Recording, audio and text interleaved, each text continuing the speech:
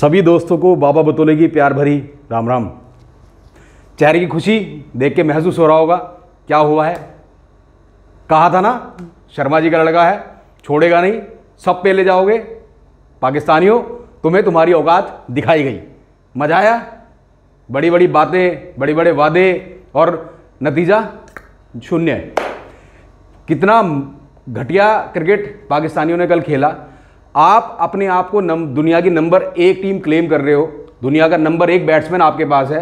आप ये बोल दो कि हमारे पास सबसे फास्ट बॉलर हैं दुनिया के और आपका एक बैट्समैन आसिफ अली क्लेम कर रहा है कि मैं एक दिन में डेढ़ सौ छक्के मार रहा हूँ। और उसके बाद हालत हालत आपकी ये हुई कि आप पे पूरे 20 ओवर भी नहीं खेले गए।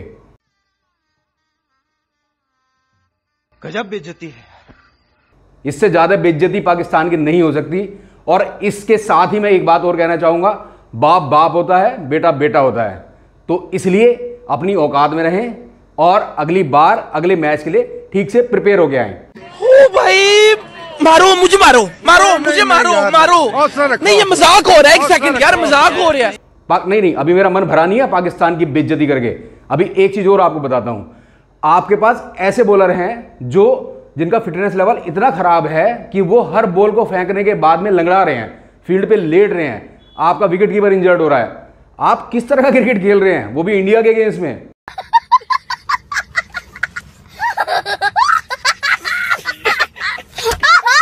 देखो, बाबर आज़म जी, मिस्टर बाबर आज़म, आपने मैच शुरू होते ही सरेंडर कर दिया।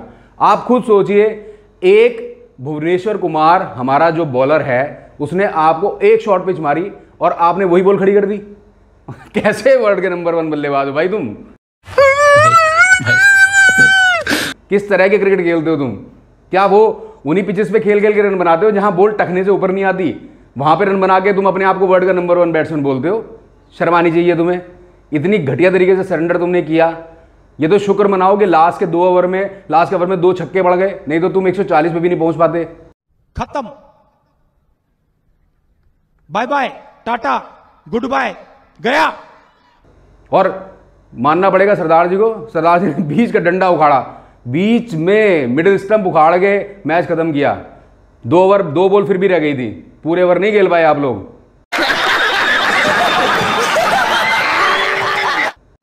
तो दोस्तों, बात करते हैं उन फैक्टर्स की, जिन फैक्टर्स ने इस मैच को स्पेशल बनाया और जिन फैक्टर्स की वजह से हमें लगता है कि जो सबसे की फैक्टर रहे इस मैच के दौरान और इस मैच को खत्म होने के बाद, सबसे पहली बात करते हैं इंडिया की पेस अटैक की।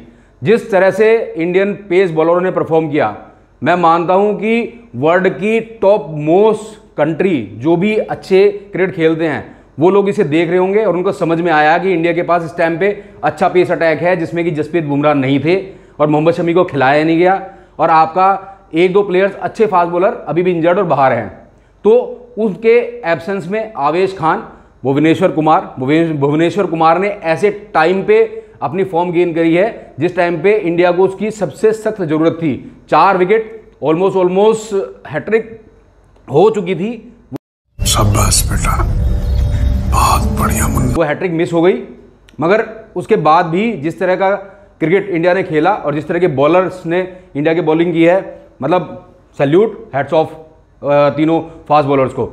साथ में सपोर्टिंग हार्दिक पांड्या हार्दिक पांड्या का कंट्रीब्यूशन आप एज अ बॉलर भी नहीं भूल सकते, क्योंकि तीन विकेट निकाले उन्होंने और साथ में अपने पूरे चार ओवर डाले। इससे यह पता चलता है कि इंडिया के पास एक बैलेंस ऑप्शन है बॉलिंग में। दोस्तों, एक बहुत इंपॉर्टेंट फैक्टर जो इस मैच से निकल के आया, जो मैं मानता हूँ शायद इंडिया जिसके लिए पिछले दो साल से, तीन साल से स्ट्रगल कर रही थी, वो था एक अच्छे ऑलराउंडर हार्दिक पांड्या ने इस मैच में जो परफॉर्मेंस दी है, इसमें कोई शक नहीं है, हार्दिक पांड्या अपने आप में एक अच्छे ऑलराउंडर शुरू से ही रहे हैं। मगर अगर आप वर्ल्ड कप की बात करें तो वर्ल्ड कप पे जो कंट्रोवर्सी हुई अभी 2020 वर्ल्ड कप में, जिसमें उन्होंने ये कहा था कि मुझे एज अ बैट्समैन खेलने के लिए बुलाया गया था बॉलिंग मुझे कहा नहीं गया था कि आपको बॉलिंग भी करनी है। उसके बाद कॉन्ट्रोवर्सीज हुई चेतन शर्मा के साथ में। मगर यही वो ग्राउंड है जहाँ से 2018 में हार्दिक पांड्या इंजर्ड होकर स्ट्रेचर पर इस फ़ील्ड से बाहर गए थे। और आज उन्होंने जो वापसी की कमांडेबल और इंडिया के लिए एक बहुत बड़े सिरदर्दी उन्होंने खत्म कर दी, क्योंकि इंडिया के पास इस समय सबसे ज़्यादा जो ज़रूरत है वो है एक अच्छे ऑलराउंडर की, जो मीडियम पेस बॉलिंग कर सके और हार्ड हिटिंग या सिचुएशन के हिसाब से बैटिंग कर सके। हार्दिक पांड्या ने जो परफॉर्मेंस दिखाई है, वो छक्का जो पड़ा ना, उस छक्के की गूंज पाकिस्तान के कान में अगले पाँच साल तक सुनाई देगी, क्योंकि उस मोमेंट में मैच किधर भी हो सकता था, हार्दिक पांड्या ने वो छक्का मार के सब हिंदुस्तानियों को एक मैसेज दिया कि चिंता मत करो, मैं हूँ। दोस्तों, सारी बात की जाए और साथ में रोहित शर्मा की कैप्टेंसी की बात ना की जाए तो ये रोहित शर्मा के लिए बहुत नाइंसाफी होगी। आप देखो, इतनी ब्रिलियंट कैप्टेंसी रोहित शर्मा ने की है, क्योंकि उसके लिए जो सोच और जो समझ होनी चाहिए आप समझिए कि उन्होंने बॉलिंग चेंजेस इतनी जल्दी जल्दी किए कि पाकिस्तान बैट्समैन को सेटल होने का मौका ही नहीं दिया गया।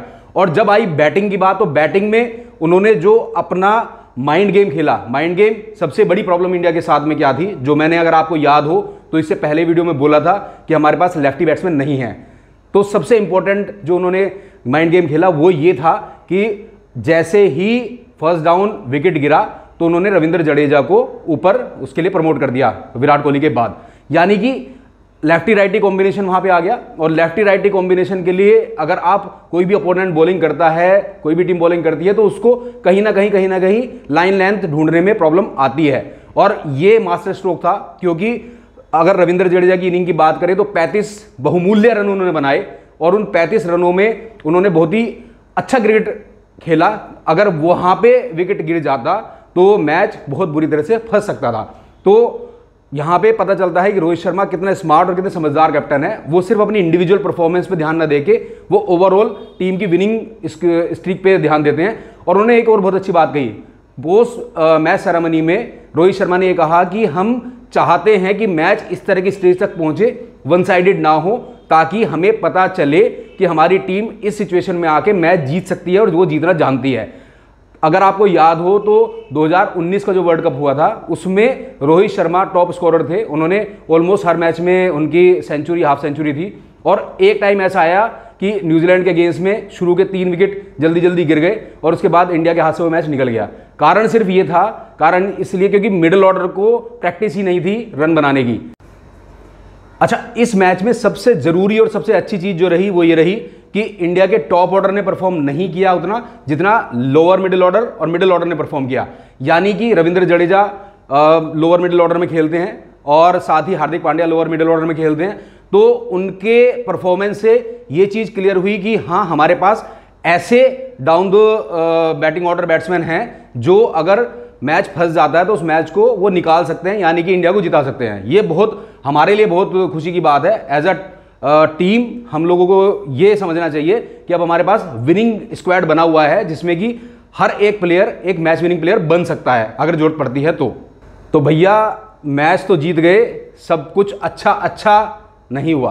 कुछ चीज़ें हैं जहाँ पे कहीं ना कहीं हमारे लिए कॉन्शियसनेस और ध्यान रखने की ज़रूरत है, क्योंकि जिस तरह से के राहुल कल मैच की पहली या दूसरी बॉल पर ही आउट हो गए वो एक एरिया ऑफ़ कंसर्न है, क्योंकि के राहुल ने काफ़ी टाइम से क्रिकेट नहीं खेला है और अभी जिम्बाब्वे के अगेंस्ट भी उनकी परफॉर्मेंस कुछ खास अच्छी थी नहीं। तो ये एक बहुत मेजर एरिया ऑफ़ कंसर्न है इतनी बड़ी टूर्नामेंट के लिए। मेरी रिकमेंडेशन तो अभी भी ये है कि अगर हम ड्रॉप कर सकते हैं तो के राहुल को ड्रॉप करके टीम में ऋषभ पंत को इन करना चाहिए, क्योंकि आगे अपॉर्चुनिटियाँ आएँगी के राहुल को डोमेस्टिक वैसे क्रिकेट खिलाया जाए जो वन ऑन वन सीरीज़ होती है, उसमें उनको मौका दिया जाए और उससे उनको फॉर्म वापस आए, उसके बाद वर्ल्ड कप के लिए उनको दोबारा कंसिडर करा जाए। दूसरी चीज़, विराट कोहली की फॉर्म देखिए, विराट कोहली ने पैंतीस रन बनाए, मगर मैं पर्सनली अगर कहूँ तो मुझे वो ना तो कॉन्फिडेंस उनकी बैटिंग में नज़र आ रहा था, और दूसरा जिस तरह का शॉट खेलकर वो आउट हुए, वो सच में बहुत टेंशन वाली बात है, क्योंकि विराट कोहली जैसे बैट्समैन से आप एक्सपेक्ट नहीं कर सकते कि आप 145 प्लस का स्कोर चेज कर रहे हैं कुल, और उसमें आप एक गैर जिम्मेदाराना शॉट खेल के आप वहाँ आउट हो जाते हो।